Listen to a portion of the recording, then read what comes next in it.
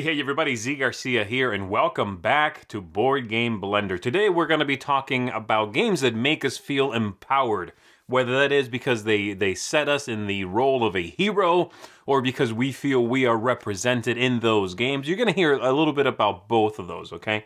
Uh, you know, games that have now gotten to the point that you can find yourself, whoever you are, uh, represented in different board games out there, whatever the reason may be and games that you know set you as a uh, someone who is you feel good playing as. That's not to say that it isn't fun to pretend to role play as the villain of a story, as a fantastical creation in a tale that the game is telling and involving you in.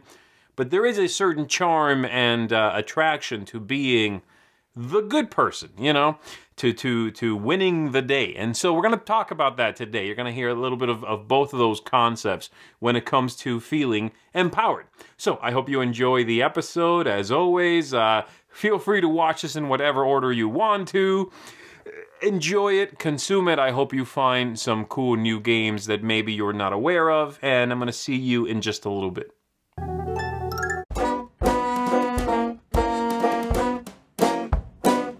Hey everyone, my name is Chris, and this is the Teacher's Lounge. Now, if you're like me, your two year old daughter has her own stuffed toy pathogen.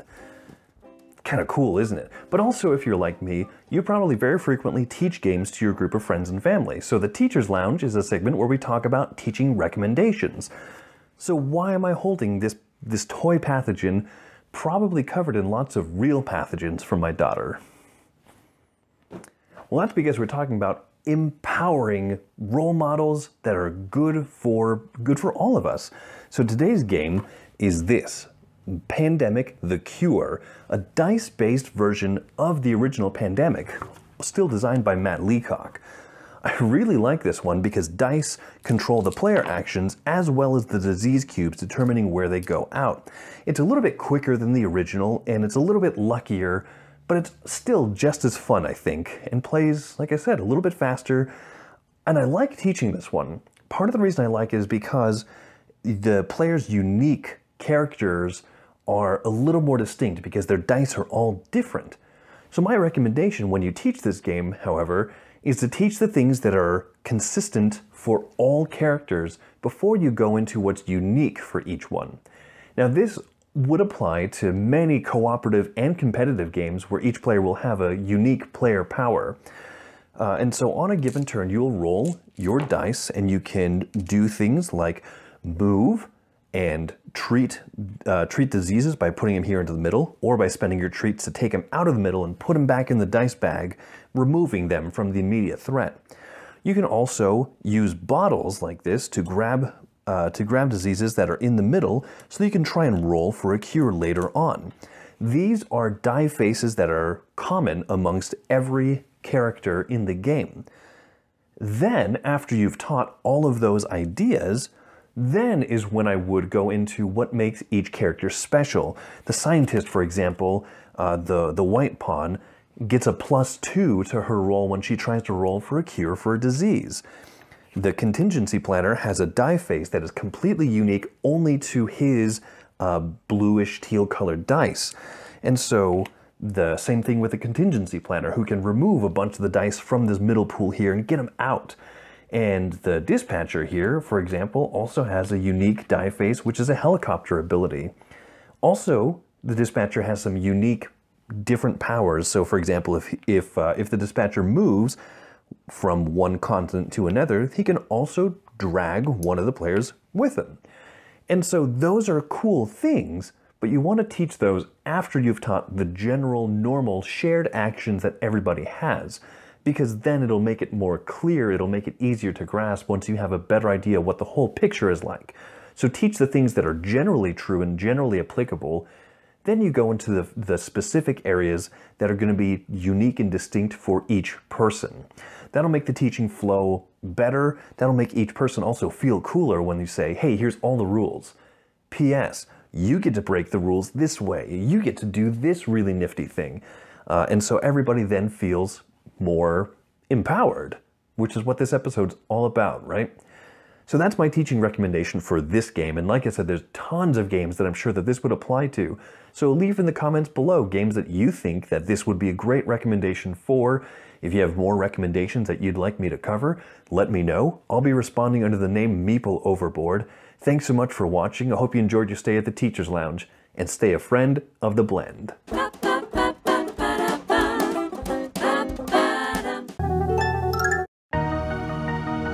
Birthdays, Christmas, Kickstarters, new releases.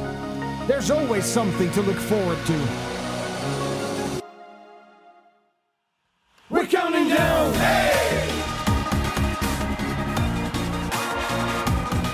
Counting down. Hey!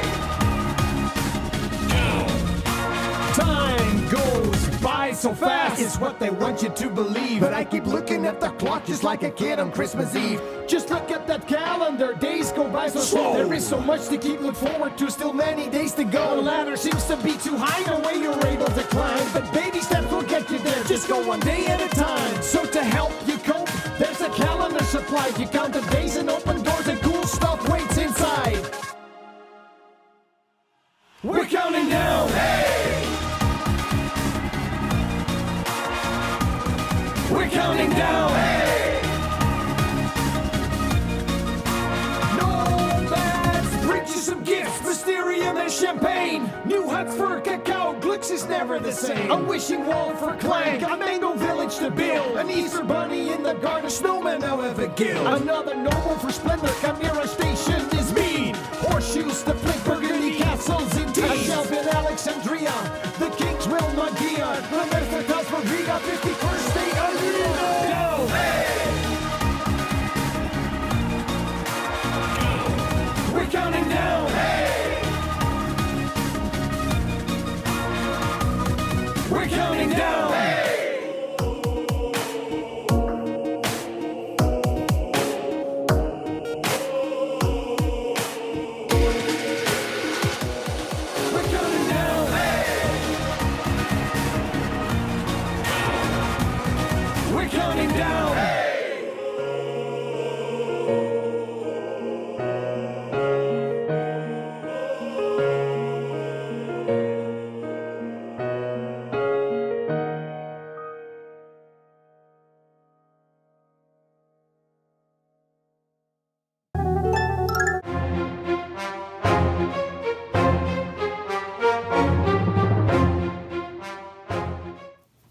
Hey guys, I'm Ben, And I'm Tommy. and we've been talking games. And today on Blender, we are looking at games that highlight uh, good role models that empower you. Uh, and we chose to look at firefighters. What is more empowering than firefighters? nothing? That's what. yes, and the game is Flashpoint Fire Rescue. Uh, in Flashpoint Fire Rescue, you're playing cooperatively with a group of up to six players, and you are a firefighter rushing into a burning building to save people, and occasionally dogs and cats, And occasionally nobody. and occasionally nobody, occasionally uh, dead space. Hazardous. hazardous materials? materials, yes. But the game is fairly simple. It's an action point allowance game. You have Mm-hmm. a certain number of actions that you can use per turn, and you will be working your way around the table, being as efficient as possible each turn with the fire raging on more and more, trying to destroy this building and trying to kill everyone inside. I act like the fire is a living entity. It feels It's like it making times. choices. It is, yeah. It It feels, feels like, like it it yes, sometimes, certain yeah. times. It's like, how did it specifically go to the one spot we didn't need it to go to? Yes. Such as is co-ops, though. Yes, that's uh, very much the way it is. I, I, I like action point allowance games. I don't think there's enough of them. Offhand, I can think of this and Tikal. but use it very straightforward. Yeah. Like as an action point, like you have this many, AP is what it's actually Don't- calling here. Yeah, don't use points. it, yeah. um, or don't use it unwisely. Anyway, um, and and I, I, I like how it works here. I especially like that you can save your action points from one round to another. Yeah, that's you. Um, and the theme is killer. Like it Pretty comes through in Yeah. this game. Like chopping down walls and not not letting the building fall down at the same time. blowing doors off their hinges and Yeah, stuff. so so so cool as far as uh, theme goes. with the theme though comes a little bit of fiddliness. Agreed. agree? Agreed. No, a couple so of rule structures that you have to go through with different firefighting terms, flashovers and hot spots, and there's a number of different terms like that. They make Yeah, it a little I- bit confusing. yeah, it's it's a little, and it's still a co-op in my eyes. So you know, automatic loss of points there for me. I like saying, "Hey, I won against all of you." No, I'm just kidding. But I, I, I, it is still a co-op, and it doesn't have any kind of like anti-alpha gamery. No, it, it follows very system. There's no hidden information. It's no, it's it's very all. prone to alpha gamer. That being said, it did meet my expectations. Okay. Yeah. Um, and I, I, I, that's a good thing because typically with co-ops they kind of fall off for me. Mm-hmm. Um, and I didn't have very high expectations, but, but I, They were met. yeah, and and it did what it did well, and I, I enjoyed it. Okay. You might find this surprising. This is my game, and I will be keeping it in my collection. But this game's actually going to receive our first obsolete Woo! rating. What? Sell it, burn it, throw it into a burning building. No. Burn it down. No, the reason being is I played this a while ago. My brother in law is a firefighter in Las Vegas. Not an excuse. and I played it with him. Really enjoyed it, but this was early on in my gaming career, and I think that my uh, memory was a little clouded because I was quite eager to get it after uh, deciding to give up my copy of Pandemic, and it, you know, it's good, like you said, but it wasn't what I remembered it being, and I'm gonna keep it because it fills that niche that Pandemic has. Yeah, that very accessible. Uh, cooler theme in my opinion. Yeah. does it better also in my opinion. You think? I think so. So, uh, for me, unfortunately, it is obsolete. But it's a great game. I'm it's keeping it. apparently not. Don't even approach this game. It's terrible. Nope. Avoid, Avoid it it. like the plague or a burning building. Yes. Call 911 if you see it. Get the fire department there. Burn it down. Flashpoint Fire Rescue. see you guys next time.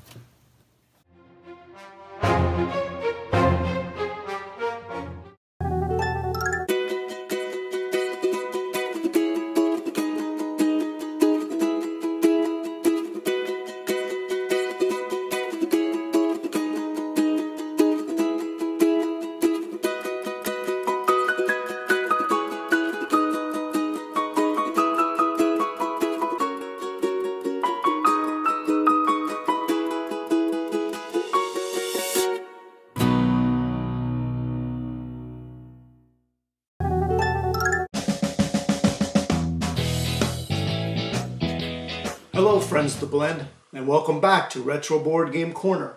Today we're talking about heroes. Now, when I think of heroes, one of the professions that come to mind is police officers. Well, there was a police officer comedy show that ran from 1975 to 1982. I'm going to play the theme song for you, see if you can get it.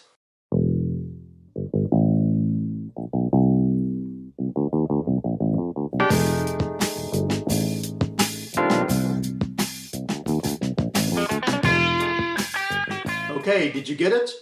Well, here I have. It's Barney Miller, published in 1977 by Parker Brothers. This is a two to four player game in which the gang from the 12th precinct is trying to catch wanted criminals. Let me set this up and show you how it works. So this is what the game board will look like set up. You're going to set the red marker pawn here on the inner circle, and then every player is going to pick uh, one of the four characters. I'm going to pick the fish here. So this is my desk, and these are the four crooks that I am responsible for capturing. Depending on how many players are playing, you'll get dealt evidence cards. Now these cards are just numbered 1 through 10. So every turn you will roll a six-sided dice and then move the red marker in a clockwise direction. I got a 2, so I'm moving 2. I landed on the cat burglars. So here the fish has on his wanted poster the cat burglars. So I would want to try to win this hand by playing my evidence cards. So starting with the first player, he will lay down a card. So I played a value of 3 card. So then the next player will lay down a card. And he will announce the total of the two cards. If the total of the cards is under 10, then the next player would play a card. So now he's announcing that there is nine cards out there. So then the next player will play the card since it's below 10. And then the value right now is 10. So this player would go ahead and capture the cat burglars if he had it in his wanted posters here. So the winner of the round would be the player whose card makes the total exactly 10 or the last player whose card kept the total under 10 when the final total is more than 10. So after you figure out the winner of the round, everybody will put their cards in the discard pile, and then the next player will roll the dice to see what space is next. So here we have to catch the fortune cookies. So here again, I have a wanted poster for the fortune cookie, so I would want to win this hand. There is also four special spaces on the board here that if you land on them, they kind of uh, dictate on how that round of hand of cards is played. The first person to capture all four of their burglars on their wanted poster is the winner of the game. This is a must have for any fan of the show. Now, what I like about this game is that it's a simple trick taking game, but when you land on these certain squares here, it dictates on how you play that round. That always makes it for some exciting combinations. Well, that's all the time I have for now. May your rolls be high.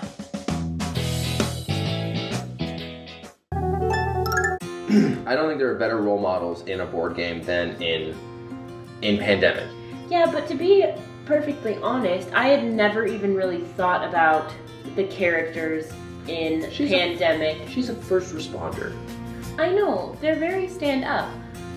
but do they stand out? Exactly, there we go. No, they don't.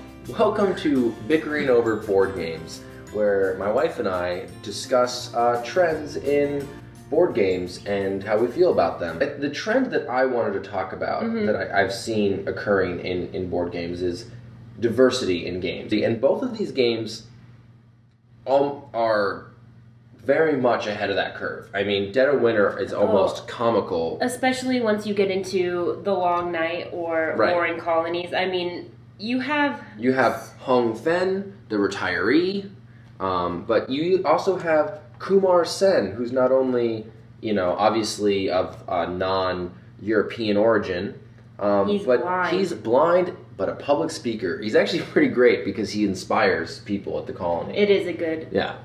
I think that the Dead of Winter characters are better role models than the pandemic characters because because they feel more real, even though sometimes it's like silly. Like there's a pirate. they're more There's- flawed. This is Dead of Winter. This is Pandemic. These have more character, more personality, right?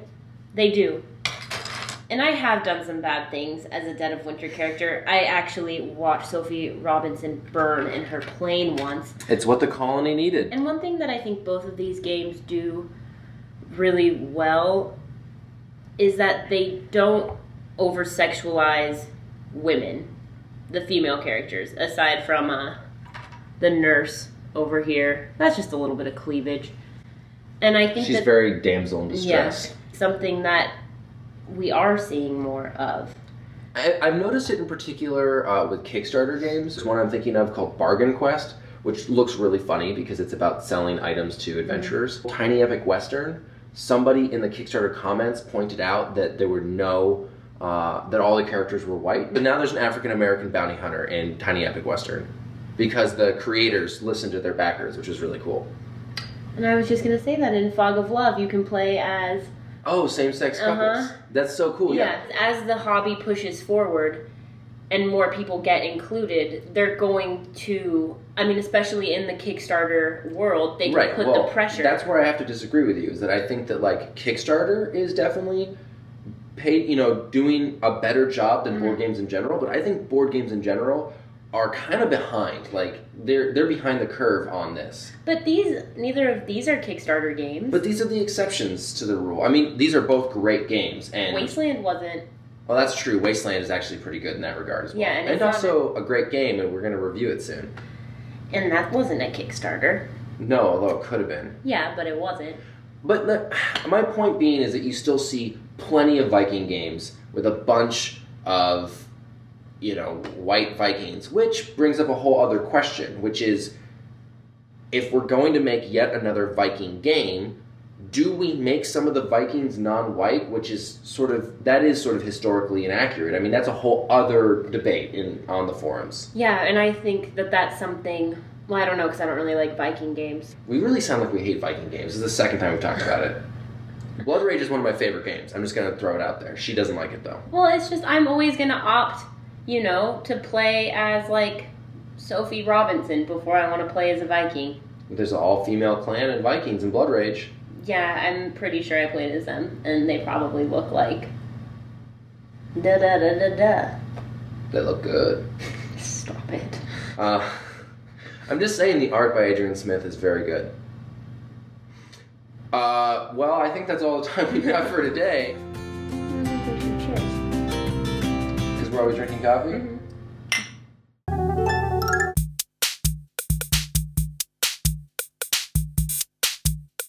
Thunderbirds was not an intellectual property that I was familiar with before I played this game, and in fact, after I played the game and liked it so very much, I went ahead and found out more about the Thunderbirds and the characters in the show, saw, saw a little bit of, of the old TV show, and also saw and really was captivated by the new TV show, the revival that Amazon put out. I think that one's called Thunderbirds Are Go. And you can watch that again. You can you can stream it from from Amazon. And I like that very much. It retains a lot of the uh, original themes and, and feelings from the original TV show, while, you know, looking better. And I, I find it uh, much more appealing to me, largely because, again, I did not grow up with the original. So the nostalgia factor is lost on me a little bit.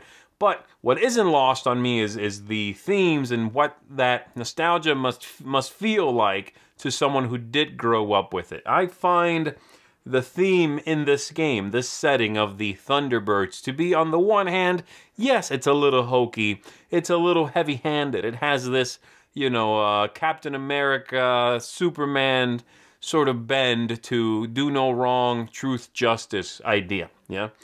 Which is, again, kind of hokey, but also very charming. And it's, it's disarmingly without uh, cynicism and I enjoy that very much. It's it's everything you get in this game is at face value the truth. Yeah, and uh, I, I find that captivating. You know, in to in, in this kind of package, it's it's charming. It's it's uh, it's engaging, and it certainly makes me feel empowered when you are all of the players around the table cooperating to help the world solve different crises. It feels good to show up to be part of an ensemble, which I find very charming and, and empowering, and uh, solve some problems. And you don't always do that. You are rolling dice. Sometimes you fail. But you always try, and that feels good. This game definitely makes you feel like not just not the hero, but part of a heroic team, which I find is even more appealing than just being a singular hero. The game uses a lot of artwork from the original TV show, which is certainly dated. The cards are going to have screen caps from the original game, uh, from the original TV show, I'm sorry, and that took a little getting used to, to be honest, largely, again, because I wasn't familiar with it. But now that I'm familiar with the TV show and the characters, I find them to be uh, a little silly, but very, uh, again, I keep coming back to charm. It's very charming. Another thing that you are that is going to help you feel empowered if you don't read into this uh, sort of a, a idea of being part of the ensemble too much is simply the different machines that these characters are going to have, the different tools at their disposal, and they have some great looking stuff in this game. So you've got all of these, and you've got Lady Penelope here cruising around the UK, helping uh, everyone else coordinate, helping be part of the team. It's got a good feel to it, a, a you know, let's do some good kind of vibe. I enjoyed very much. I think you check it out. It's a little bit quirky because of everything it brings to the table for me with the IP tying into a modern design, a, a pandemic-ish get together somewhere and, and solve some issues. The game is logistically very interesting because it's tricky getting everyone to be in the right spot to make something happen in the game. It, it can be a tough game to win and do well in. So I find it to be a, a strange amalgamation of different concepts and ideas that perhaps wouldn't work for a lot of people, and I think that's partly why I consider it to be a quirky game. You know, you'd have to have a certain a bunch of different likes to like this. You have to like the TV show, or at least be receptive to it. You have to like the cooperative nature of the game. It's it, I could see it being um, not necessarily divisive, but easily dismissible. And that's a mistake, I think. I think you should look into it. If you enjoy co op games at all, uh, if this is something that, even if you're not familiar with it, you think you could get into it and play that role of the good guy or gal, then I think you're going to enjoy it. That is Thunderbirds. Check it out. Hi, I'm Max from Games and Families. Hi, I'm Tess. And hi, I'm George. And we have a magic dog. Yes, in his short life, our five month old silver toy poodle has eaten so many games pieces that he's now able to tell which of two games is better. So George and Tess are now going to talk to him about two games, and we're going to, he's going to decide which is the better one in Gizmo Knows. Yay! This is one of my favourite games. It's called Bärenpark. It's where you're placing this kind of tiles on this kind of board. You can place them anywhere you want, and if you place it on each different thing, it does different activities or whatever you want to call it. So there are enclosures. There's polar bears, there's Gobi bears, there's panda bears, and there's koala bears. Even though they're not technically bears, but people like koalas, so they put them in the game. You can also put in food stores for the customers, toilets play parks, and rivers. And once you've filled up one of your tiles in any way possible, you can put it wherever you like. Maybe I'll have that there, maybe that there. And once you've finished filled it up, but you cannot place on this pit, then you can put that there, and you get the points for that. I'm finished. so this is one of my favorites. For me! This is one of my favourite games called Rhino Hero Super Battle, where basically there's this guy called Rhino Hero, and there's other characters too, uh, for Biggie, Giraffe Boy, and Batguin. You can't really see that because it's so short. But um, basically, what you're doing is you're building this tower of cards like this, except it's a really cool tower, and you're trying to climb to the top. And when you get to the top, you get the superhero medal, like he's wearing. And if the tower collapses on anyone's el- go but yours, and you have the superhero medal, you win. And the other thing I like about this game is you, in the other game, you're climbing as one person. But in this game, you're climbing as different people. And if you go into the same level, you have a super battle, and the person who loses has to go down. Which I think is quite fun. End. Ready? Yeah? Yes. Okay, so we're going to introduce the gizmo and see which of the games he chooses. Oh, and it's a win for Bärenpark! Congratulations to Tessie! Best of luck next time, George. so, tune in next time. There will be a new challenger, two new games, but once again, Gizmo will know.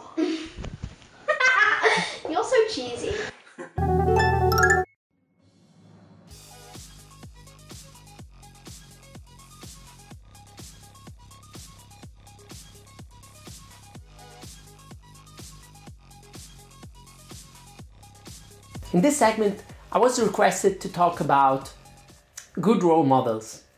And uh, my god, I already talked about Flashpoint. I went through my collection and I don't have much about good role models. I started wondering what person am I? Am I bad? Why do I look for games that two pros and two cons for wanting to be the bad guy in a board game? First pro. As the bad guy, you usually have all the tools in your arsenal to go against uh, everyone, kill if you need to kill in your uh, one versus one battles or all versus all, and uh, being it Heroescape or Dice Masters being the superhero, killing all the bad guys, not feeling bad about uh, the killing part because ethics don't apply in the same way, obviously, in this entertainment. And so you go full speed in these battles without worrying about these things. Second pro, You can put hurdles for your opponents and not feel bad about it. You can stop their plans in Colt Express, for example, and uh, just feel good about it. So be the bad guy. There are cons for us though. We, as bad guys, usually have a hard time winning in some games, in particular with Star Wars games. I have Imperial Assault and that's not easy to win as the bad guys, but even more so if you play Star Wars Risk. Oh my god, is it hard to win as the bad guy? I understand there were flaws in the Death Star, but did they need to translate those in the game as well? And the second and last con is this coming of cooperative experiences where there is always this traitor and I hate being the traitor there. I hate being the bad guy in that experience because in that case, the rules of ethic come to haunt you. The good guys want you out of the game. And I played just recently two games in a row of uh, Dark Moon, and I was both times the bad guy. Oh, I hated it because in that game, obviously, then you don't want them to know you're the bad guy. Otherwise, you're out, you're quarantined, and your actions become crappy, and the game's is really not that fun anymore for you. And I was sweating all the time. It's not for me. Being the bad guy in cooperative, semi-cooperative experience is not for me. That's all. Have fun.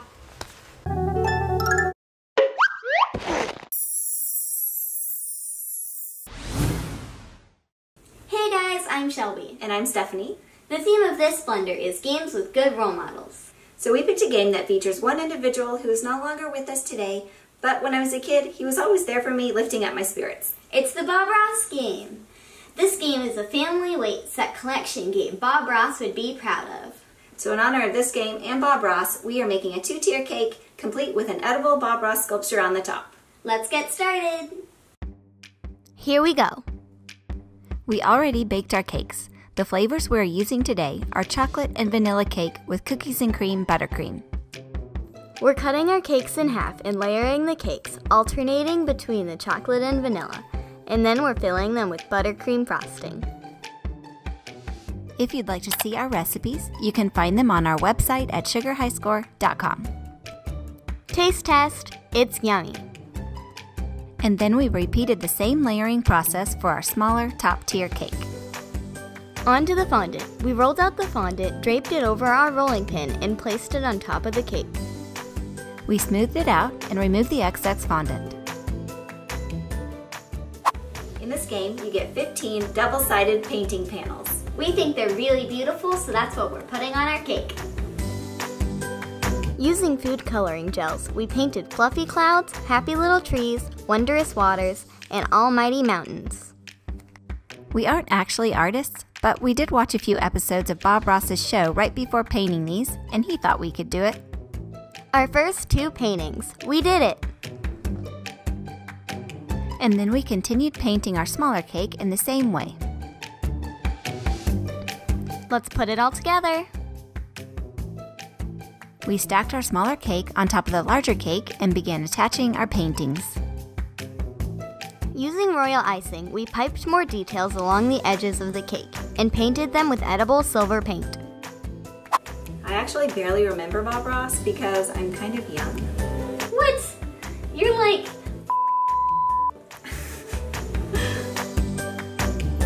Our cake wouldn't be complete without an edible Bob Ross sculpture. We're finished! Hooray! I think Bob Ross would be proud of us. Thank you for watching. We hope you enjoyed our segment. If you like baking like we do, be sure to check out our own YouTube channel. We're also on Facebook, Instagram, and Twitter. See you next time. Bye. Do you want to eat it? Yes. Okay. Mm.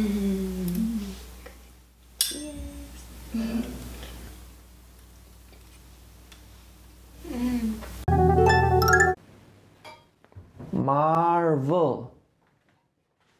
DC. Marvel. DC. Marvel. DC. Whatever. Fine.